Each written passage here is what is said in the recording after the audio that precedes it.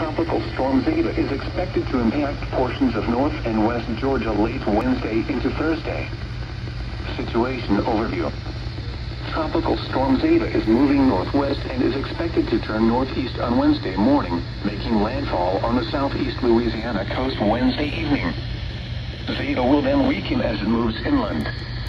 Winds in our area will increase from west to east as the center of the remnants of Zeta move across the region. Maximum sustained winds are expected to be in the 25-35 miles per hour range with gusts as high as 45 miles per hour.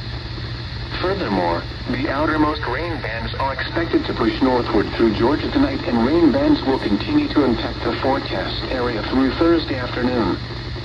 Rainfall totals are expected to range from 2 to 4 inches in North Georgia, with some locally higher amounts possible in the higher elevations of far northeast Georgia. Here is the hazardous weather outlook.